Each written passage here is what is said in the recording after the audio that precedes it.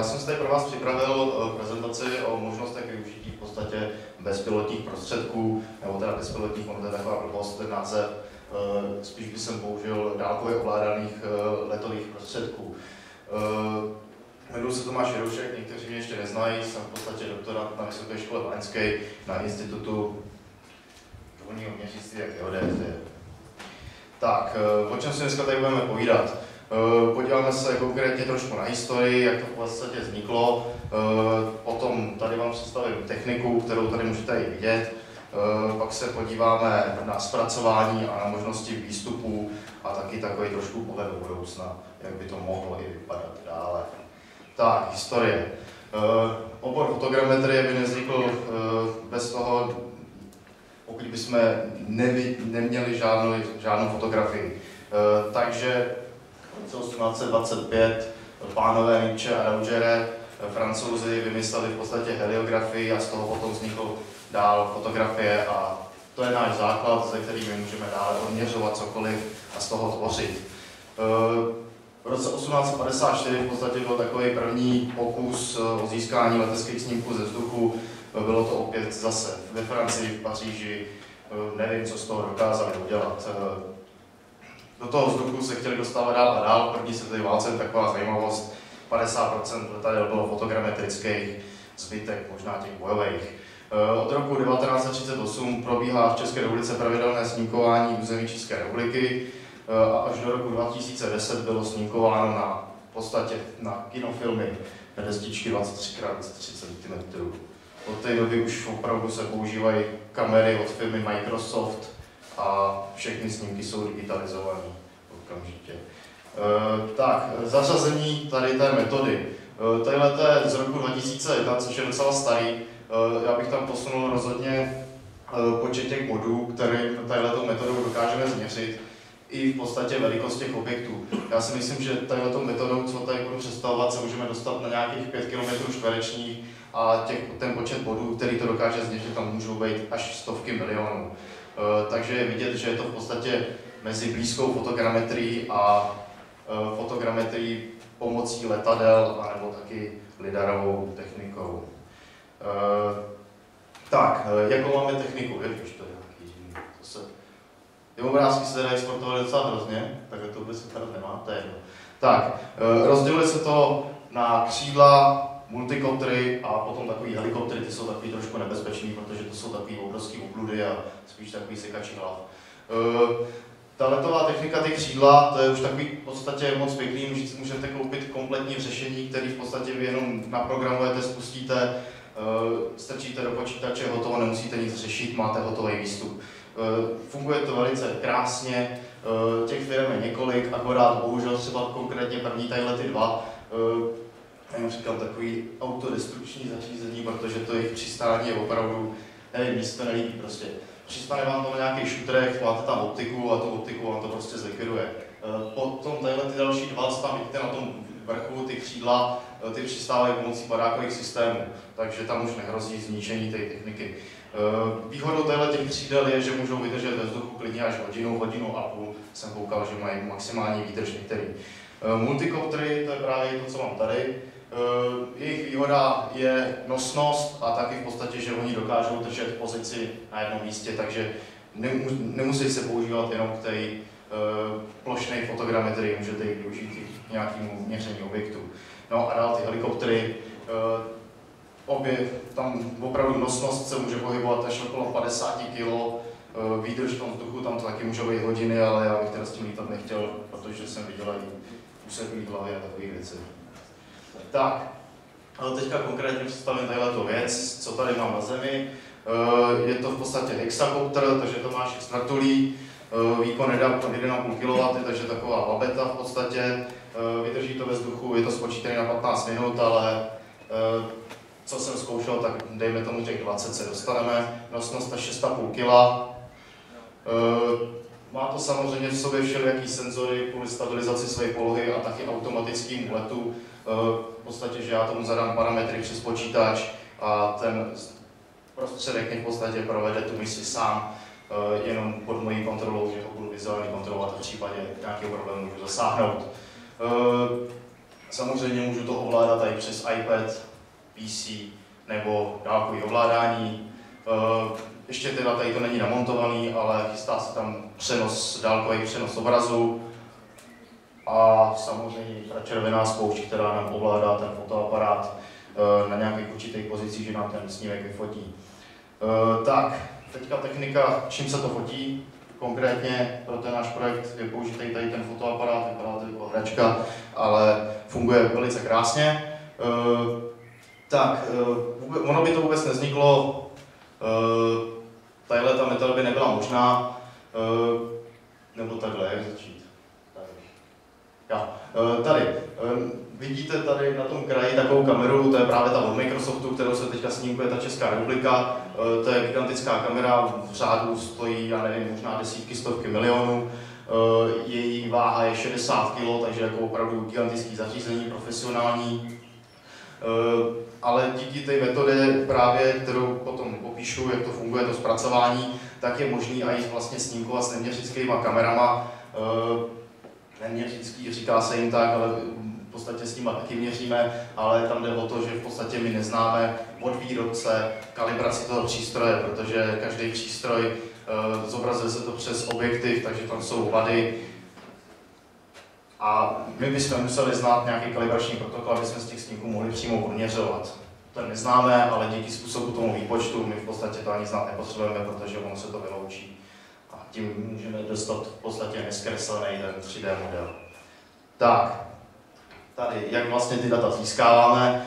Eh, nejdřív my musíme vlastně v podstatě vědět, co my máme získat. Takže podle toho my naprogramujeme letový plán, kde nejdřív se ještě teda musíme podívat, jestli vůbec tam lítat můžeme. Třeba jsou oblasti, kde je absolutně zakázaný lítat, třeba konkrétně tady nad Pražským hradem, absolutně vyloučený, neexistuje, takže nějakou, nějaký 3D model Pražského hradu prostě nejde, bohužel.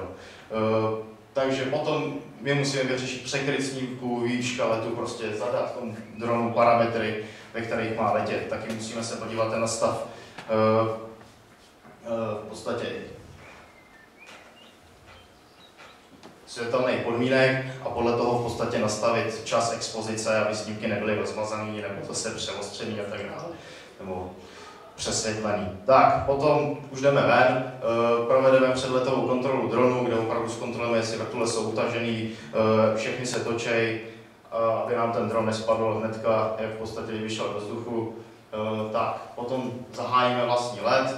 V podstatě on by měl být automatický, že se zmáčkne na počítači Enter a ten, ten dron poletí, ale vždycky je lepší mít v ruce dálkový ovladač a v případě problému okamžitě zasáhnout protože ve vzduchu tam to vypadá docela divoce, občas nějaký pták, takže je potřeba to hlídat. E, tak, e, potom my ten výstup samozřejmě budeme chtít dostat do nějakých souřadnic, takže je potřeba e, nějakých vlícovacích bodů na zemi, kterými musíme změřit souřadnice a potom v podstatě v tom programu zadat, že tady ty body mají takový a takový souřadnice a ten model se nám tam v podstatě zobrazí jakoby georeferencovaný. E, někdy taky není ani potřeba, takže měříte nemusíme. Tak potom už následuje přistání a kontrola kvality snímků a je lepší i v tom terénu si to rovnou spočítat a podívat se na to, co vůbec jsme dostali. Nějaký hrubý počet, který trvá pár minut, takže to není. Tak, zpracování dat. Těch softwarů na to zpracování dat je extrémní množství. V podstatě dejme tomu každý měsíc, že přibude nový software. Tady to jsem teďka vybral, tady ty, co tady jsou, jen tak narychlo, co jsem našel, co to dokážou zpracovat ty snímky. Některé jsou lepší, některé jsou horší. Uh, mám teda vyzkoušený zatím pouze jeden software, konkrétně ten Agisoft. Uh, tak, zpracovává se to pomocí autokorelačního způsobu. Ten způsob zpracování těch dat je známý od 80. let, ale nebyl možný z důvodu slavného výkonu počítačů, takže v dnešní době když už to počítají grafické karty, tu autokorelaci, tak už je to velice vhodný, ten způsob je dosti rychlej, takže technika jde dopředu, jen tak dále. Eh, teďka tadyhle ty dva pánové, jako Hirschmiller a Yatsuka Furukawa, eh, to jsou opravdu výborní programátoři, kteří vymysleli eh, dva dost důležité algoritmy, které se využívají při zpracování a v podstatě všechny softwary jsou postaveny na těchto těch jejich algoritmech. Jsou v podstatě volně dostupný, takže proto si ty softwary takhle rvějí jako houby po dešti. První takový krásný, obrovský projekt autokorelačního zpracování dat jsou OVI mapy, které jsou, myslím, že z roku 2011, ale to nechci kecat. Ty teda zpracovávají ty snímky z těch leteckých kamer, z těch 60 kg, těch obrovských gigantických. Vznikly v podstatě, nebo ty mapy byly mapované pomocí společnosti C3 Technologies, která v podstatě převzala to know-how od švédské armády, kde jí to sloužilo k přesnému navádění raket. Takže tady takhle vidíte model, jak vypadá eh, z těch map. Je to opravdu prostorový, mají myslím celou Prahu takhle zpracovanou a další světové města. Tak, teďka konkrétně jak vypadá to zpracování dat. Takže import dat, potom následuje v podstatě vyhledání features na snímkách a jejich propojení, eh, potom se filtrují body, které odpovídají tomu propojení a neodpovídají. Ty modré čáry, tam právě ty body jsou v pořádku, takže ty body se použijou pro eh, zjištění souřadnic středu snímků a taky jejich orientaci v prostoru. Eh, to vidíte na tom třetím snímku, tam už jsou hotové eh, zjištění souřadnice těch projekčních center a dále následuje v podstatě kalibrace snímků, což je upravení zkreslení. To, jak jsem říkal právě, že každý, všechno je to zobrazené přes objektivy, jsou tam nějaké fyzikální principy, které prostě se musí nějak odstranit tak to právě pomocí té kalibrace, tamhle jsem ten obrázek trošku přehnal, aby to bylo vidět, jak může vypadat eh, zobrazení přes objektiv, takže se ty snímky v podstatě narovnají a pak už následuje výpočet hustého mračna vodu, který může obsahovat až i ty stovky milionů vodů. Eh, a potom eh, v podstatě z toho mračna vodu následuje zasíťování do trojuhelníkové sítě a vyplnění voškama a potom už jsou v podstatě hotové ty data nějakým exportům, eh, který vám teďka ukážu, jak můžou vypadat. Tak, jeden z možností těch exportů, který vás asi nejvíc zajímá, eh, do těch eh, jako podklad do výsledných aplikací, je True Orthofoto mapa. Výhoda té True Orthofoto mapy a tohoto autokorelačního zpracování je, že v podstatě na každý bod na tom snímku, co je, já se dívám v podstatě kolmo, takže já tam nevidím žádný boční stěny budov. Takže když ta budova bude mít 100 metrů, tak já tam opravdu uvidím jenom její střechu a nic víc, což je docela obrovská výhoda. Dá se z toho perfektně mapovat, odměřovat a tak dále. Tak eh, to rozlišení může být až klidně i 5 mm na jeden pixel. Eh, opravdu to může být dost hustý, záleží podle potřeby, eh, z toho se právě může odvodit vejška toho mapování, pokud ty fotoaparát a tak dále. Samozřejmě georeferencovaný ty ortofotomapy jsou a je taky možnost je rozdělit do bloků, aby, protože potom, když já exportuju třeba mapu, která má území, kde je velký třeba 5 km čtverečních, tak by to bylo obrovský gigantický množství dat, tak je možnost to rozdělit do nějakých bloků, se kterými se dá jednoduše zpracovat. Tak, další možnost výstupu je v podstatě to hustý vodový mračno, eh, který může být opět georeferencovaný. Eh, ta podoba těch dat vypadá opravdu jako z laserového měření, Eh, je tam možná klasifikace těch dat, v podstatě odstranění budov, stromů a potom výpočet eh, digitálního terénního modelu, který se v podstatě dopočítá. Tak, další výstup je 3D model, eh, může být pokrytý texturou a opět může být georeferencovaný. Na ten 3D model se v podstatě můžete dívat ze všech stran. Jsou tam Jo, můžete z toho dělat v podstatě ještě anaglyfy, takže tam můžete mít prostorové vidění na tom. E, tak a další možnost výstupu je v podstatě 2,5D model, nebo takový výškový digitální model, e, kde každý bod má pouze jenom jednu výšku. E, takže tady máme zase možnosti výstupu, taky opět georeferencovaný model,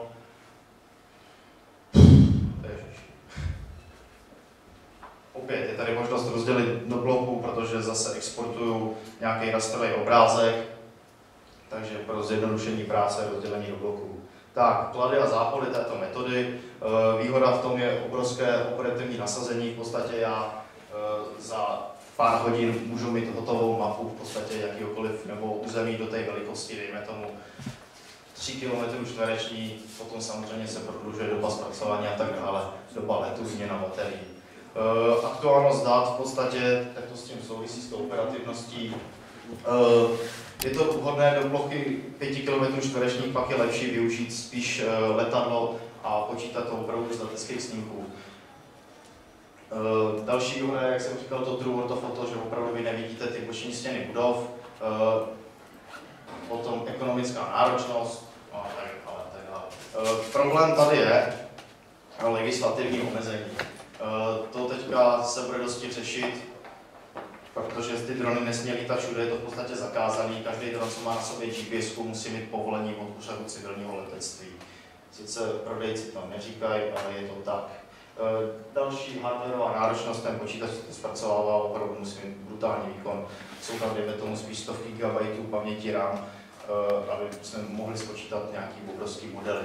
Tak, eh, k čemu vůbec já tady mám ten dron? Je to v podstatě pro projekt, kdy s tím budeme mapovat lomy, zjišťovat nějaké přesnosti, co se s tím dá dosáhnout a budeme taky v podstatě optimalizovat ty data aby jsme neměřili nebo ne, nedávali do toho programu nějaké nadbytečné množství, které už není potřeba, aby jsme zbytečně nevytěžovali ty počítače. Eh, dále se, chci, se chceme ještě zaměřit na možnosti eh, RTK GPS, kde v podstatě vy online na tom, dronem, na tom dronu budeme mít pozici toho eh, prostředku s přesností na, dejme tomu, pár centimetrů, takže potom by ani nemusela být potřeba měření těch plícovacích bodů na Zemi. Takže my v podstatě přímo hnedka z toho dronu bychom dostali georeferencovaný data. Samozřejmě e, ta, ten pohled té budoucnosti vypadá velice slibně, protože e, Evropské unii se tady ty drony dosti líbí. Teďka jsem četl zprávu, je to starý asi měsíc, vidějí v tom pěknou budoucnost, má se v tom zaměstnat až 150 tisíc lidí. Takže chtějí to řešit, Eh, protože chtějí sjednotit nějakou pravidla, každá země to má teďka úplně jinak. Eh, takže do roku 2016 chtějí vydat nějakou směrnici, která v podstatě začlení tady ty eh, prostředky do letového provozu. Takže potom bude možný legálně lítat. Samozřejmě nejspíš to vypadá, že tam na tom dronu budou muset být odpovídače, tak aby byly viděny na radarech, letišť a tak dále. Tak, Eh, dále, čím bych se chtěl zabývat, ale to rozhodně nebude tady ten dron, ale umístit na ten dron ještě laser scan a potom pořizovat data laser scanový z vrchu. Ale to je hudba budoucnosti. Tak, to je asi tak všechno, co jsem vám chtěl říct, takže jestli máte nějaké dotazy, tak se budu